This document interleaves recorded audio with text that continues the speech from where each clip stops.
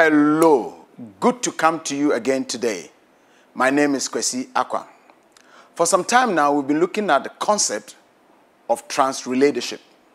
And we define transrelationship as the ability to produce remarkable, tangible, and lasting changes through intentional connectivity and creating a willing following.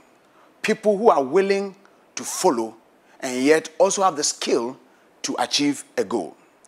Let's take it again. Transrelationship is a concept that tries to explain the ability for an individual or a team or group of people to produce remarkable, tangible, and lasting changes through intentional connectivity and creating of followers who are willing and able to achieve a goal.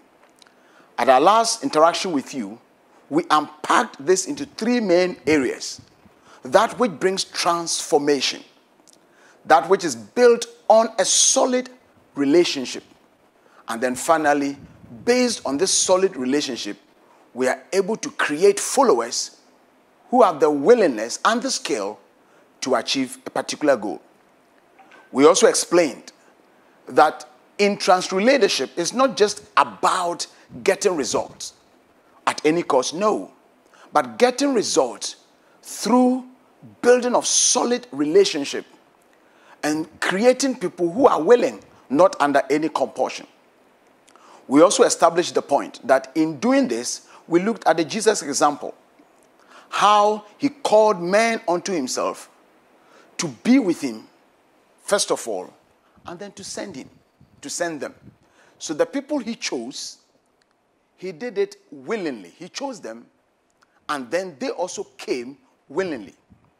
And then he was with them, he impacted them, he transformed them before he sent them out. We also try to look at the two main dynamics when it comes to trans transrelationship. We looked at the visible and the invisible. We try to look at the fact that in everything, even from creation, God created the invisible part of his creation, the visible part of this world, and then the visible. Now we're trying to understand what is the invisible aspect. And that is what we said that there are four main areas, two of which are invisible and two are visible. Now, today we're going to look at the same concept but from a different perspective. The same concept of invisibility and visibility, but from a different perspective. Now, we're going to do this using the illustration of our human personality. You know, there are two organs in the body that are so powerful, very, very powerful. And these organs are the brain and the heart. You know, we do not see our brains unless your head is operated upon. When you see someone coming, you will not first of all see the brain. You may see the head, but you will not see the brain. To be able to see the brain, we will need to operate the person's head, open up the head, and see what is in the brain. But you see, even the brain does not give us an idea of what the person is thinking about. You can operate and see the brain, but you cannot operate. No scientific machinery or systems or equipment can give us an idea of what people are thinking about. That is what I refer to as the invisible aspect of our human personality, our mindset, our mind, our mind. One cannot see your mind. Only God knows our mind. It is therefore important that in building a solid transrelationship strategy, we look at affecting people's thought pattern.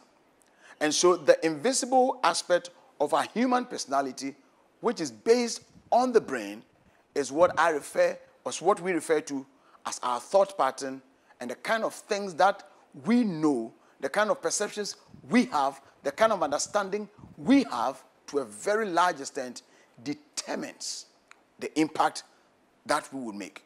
Remember, in transrelationship, we are looking at providing remarkable, tangible, and lasting impact. Not just a change that will go with the wind, but a change that will outlive you. A change that many more years to come, people will still remember you for. And we are saying that you need to affect that aspect of the person's being. Then the next organ we looked at is the heart. Yes, you cannot see the heart. We can open your chest and still operate on your heart.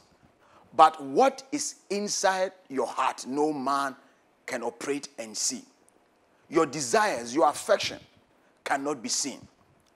And so that aspect of our whole being is also the invisible aspect that we're talking about. And when we get this invisible aspect of our being solid, right, in line, in tune, then you can be sure that the other visible aspect of our being, and here I want to use our hands to symbolize the things we do. What we do, our actions, are influenced by our thoughts and our desires, our attitudes, our emotions. These part of our being would influence our actions. And then when our actions are properly aligned, it creates a path. That is what our feet does. It takes us along to where we want to get to. And so, what have we been talking about? We're saying that using a human body, the, brain, the mind, which is out of the brain, our emotions, our desires, which is out of the heart, our actions as demonstrated or symbolized by our hands, and then our path, the, the kind of culture, the kind of atmosphere, the kind of environment we create, that also influence to what extent we'll go far being a great transrelator. But you see, these things we can learn, we can look at our experiences. But there's one invisible personality who comes into our situation and completely changes things around. I've talked about that mind which is invisible. But there's someone who can take absolute control of your mind. So, having looked at the human personality, we want to go and take a steady tour into the person who is behind all that we can achieve. The one who, when he supports, when he gives you grace, you will be able to excel. And that is the Lord Jesus Christ. So I'm saying that in being a great transrelator, it's important that you get it right with the invisible God, the God who cannot be seen. Your spiritual life has to be solid. Now, somebody will say that, are you saying that if I'm not a Christian, I cannot achieve greater heights? I cannot be a great leader? No, that's not what I'm saying. Whether you're a Christian or not, you can still lead.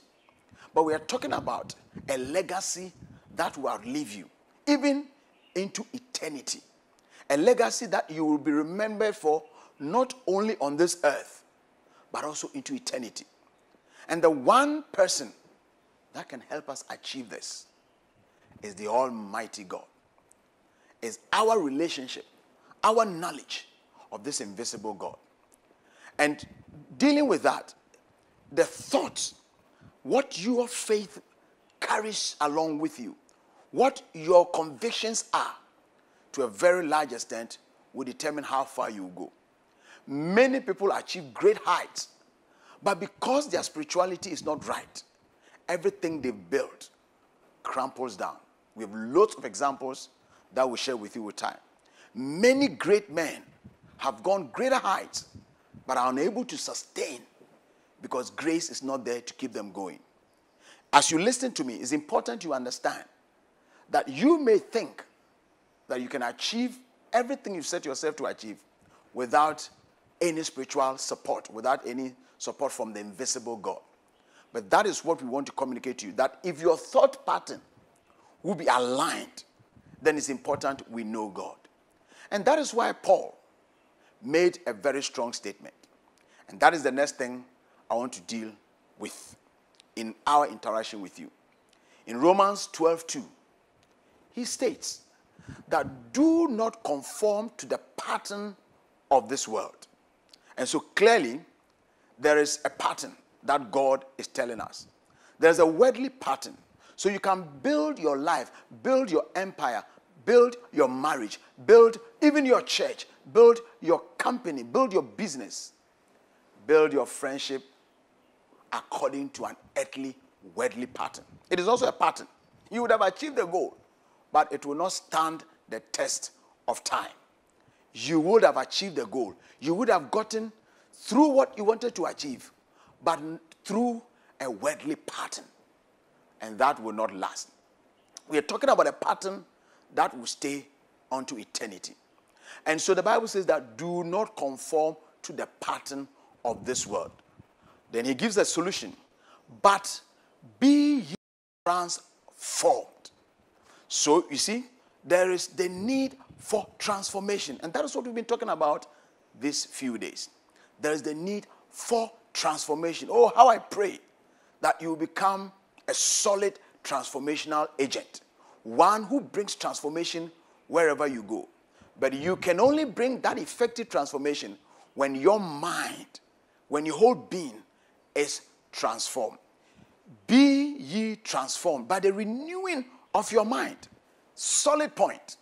By the renewing of your mind. And the renewal comes by faith in Christ, by the renewing of your mind. Then he says that then you will be able to test and approve of what God's will is.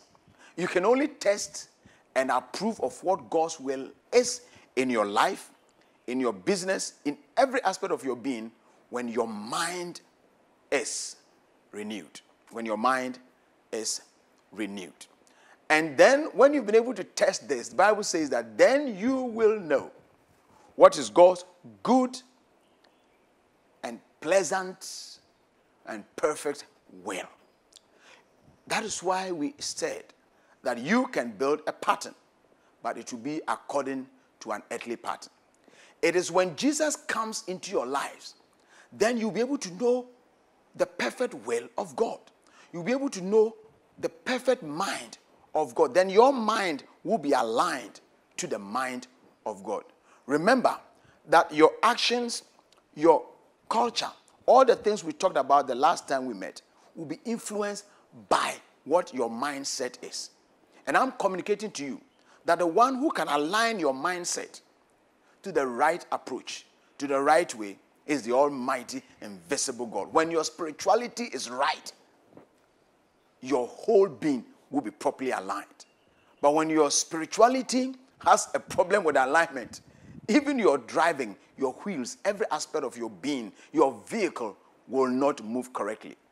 As I come to you, may your life be realigned by the way your thoughts are influenced, by the way your thinking is influenced. We'll be coming to you again on this thought pattern how your spirituality would influence, how God will come into your situation. You see, somebody who can achieve a certain height by his own strength can go multiples when the Spirit of God enables him. So I'm not saying that without God, you cannot do anything. Maybe because you're achieving some great things in life, you think that you don't need God. But I'm communicating to you that if the invisible God takes control of your life, then the things that you would have used a year to achieve, grace will cause you to achieve them in months. The things that you would have sold your whole being to be able to achieve, your spirituality, rooted, firmly embedded on the rock of our salvation, will transform you. So do not only look at the invisible aspect of our human thoughts and thinking, but that ultimate invisible person who is the Lord Jesus, who is the Lord and Savior of our life, Jesus Christ. As I come to the end of this presentation, I will not want to end without giving you an opportunity to allow the invisible God take control of your mind. Even as we come to you again to look at the heart, may your mind be taken over by the Spirit of Christ. If you want to do that, please follow me by saying this I believe that you love me, that you died for me. So take control of my thoughts, take control of my whole being. Lord Jesus, accept you as my Lord and personal Savior. If you have made this confession, I can assure you that He will begin working on your thoughts. And then, as we will see from our next session, all other aspects of your whole being will be aligned. God richly bless you as you get ready for a blast, as you get ready for the transformation that we've been talking about. God bless you.